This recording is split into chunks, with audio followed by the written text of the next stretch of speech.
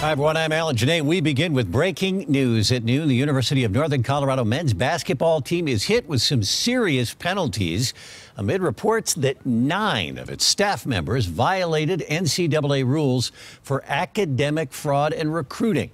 Those violations include completing coursework for prospective players, paying for classes they needed to become academically eligible, and arranging off campus practice sessions for student athletes who were not academically eligible to play.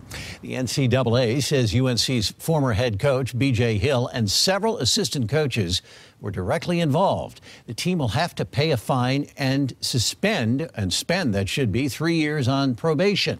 They're also banned from any postseason play for one year, and other schools are also restricted from hiring those UNC coaches for anywhere from three to seven years. We have reached out to UNC, to the athletics department. We're going to let you know what they have to say today as we continue to cover that story. Right